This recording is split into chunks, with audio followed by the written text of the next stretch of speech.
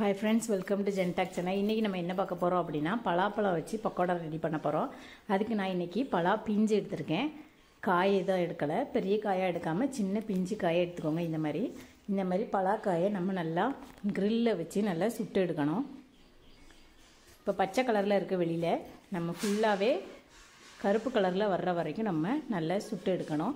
அடுப்பு இருந்துச்சுன்னா விறகடுப்பு இருந்துச்சுன்னா நீங்கள் அதிலேயே சுட்டு எடுத்துக்கலாம். நம்மக்கிட்ட இப்போ விறகடுப்பு இல்லை அதனால் நம்ம கேஸ்லேயே சுட்டு எடுத்துக்கலாம். க்ரில் பேன் வச்சுக்கோங்க. ஒவ்வொரு பக்கமாக இந்த மாதிரி சுரு ரொட்டேட் பண்ணி ரொட்டேட் பண்ணி நம்ம வைக்கணும். இந்த மாதிரி கலர் நல்லா மாறணும். அப்போ தான் உள்ள பலாக்காய் நல்லா வேகும். நீங்கள் திருப்பி திருப்பி வைங்க.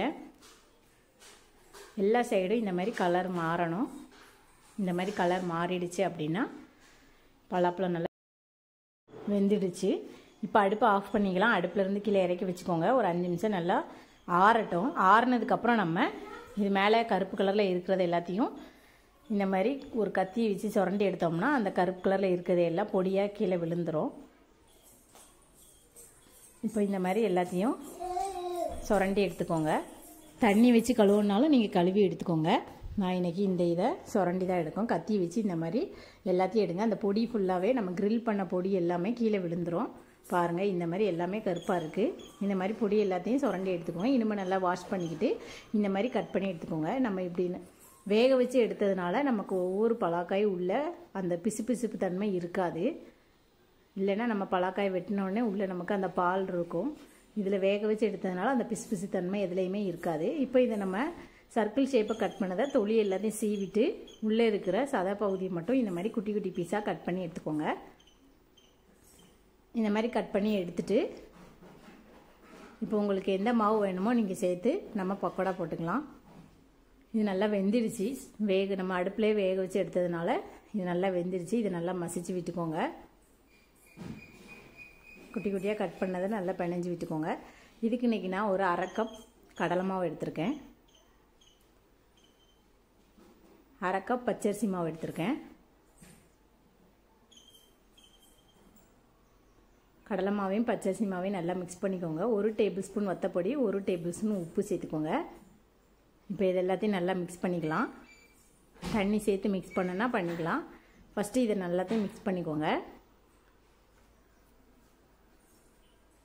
பலாப்பழம் காய் வந்து நல்லா மிக்ஸ் ஆகணும். அந்த பலா பிஞ்சு எல்லாமே நல்லா மிக்ஸ் ஆகி அந்த மாவு கூட ஒன்றுக்கு ஒன்று சேரணும்.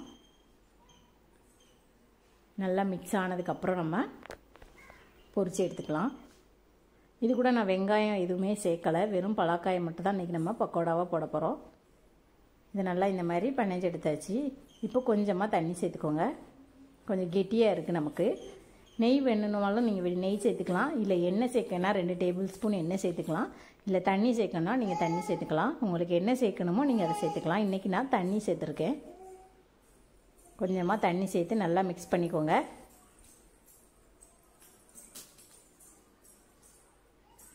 ரொம்பையும் கெட்டியாக இல்லாமல் ரொம்பையும் தண்ணியாக இல்லாமல் நம்ம பிணைஞ்சு எடுத்துக்கலாம்.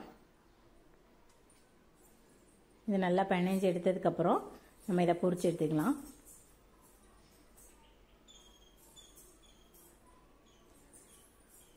நல்லா மிக்ஸ் பண்ணிக்கோங்க. இப்போ இது நல்லா மிக்ஸ் ஆகிடுச்சு இப்போ ஒரு பத்து நிமிஷம் நல்லா ஊற வச்சுருங்க. நல்லா மிக்ஸ் பண்ணிவிட்டு பத்து நிமிஷம் நல்லா ஊறணும். ஊறினதுக்கப்புறம் நல்லா நம்ம எண்ணெயில் பொறிச்சு எடுத்துக்கலாம். அந்த மசாலா எல்லாத்துலேயும் மிக்ஸ் ஆகணும். இந்த மாதிரி நல்லா தண்ணியாக இல்லாமல் கெட்டியாகவும் இல்லாமல் இந்த மாதிரி பக்குவமாக பிணைஞ்சு எடுத்துக்கோங்க.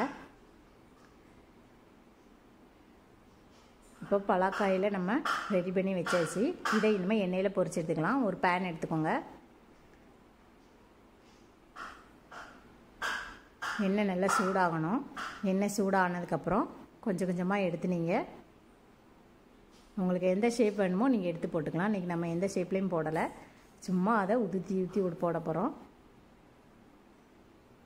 எண்ணெய் நல்லா சூடாகணும். சூடானதுக்கப்புறம் தான் நம்ம போடணும்.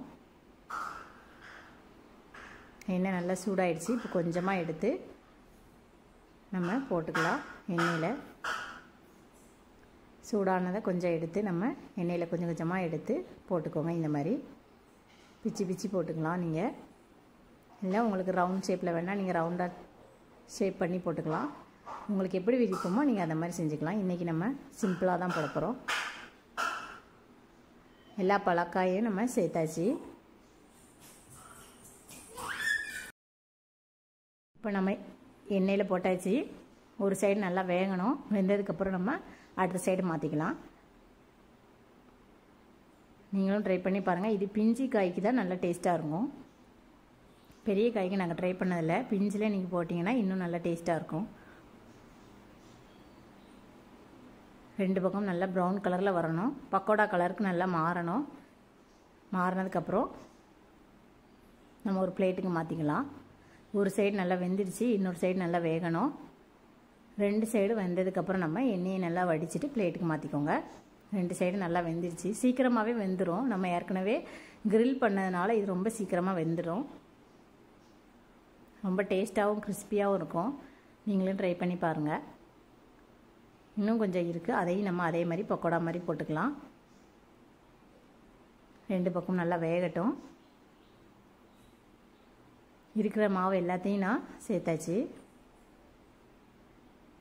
ரெண்டு பக்கம் நல்லா வெந்ததுக்கப்புறம் எண்ணெயை நல்லா ஃபில்ட்ரு பண்ணிவிட்டு நம்ம பிளேட்டுக்கு மாற்றிக்கோங்க நல்லா வெந்துடுச்சு. இப்போ நம்ம எண்ணெயை வடிகட்டிட்டு பிளேட்டுக்கு மாற்றிக்கலாம் சுவையான மற்றும் ஆரோக்கியமான பலாக்காய் பக்கோடா ரெசிபி ரெடி நீங்களும் ட்ரை பண்ணி பாருங்கள் தேங்க்யூ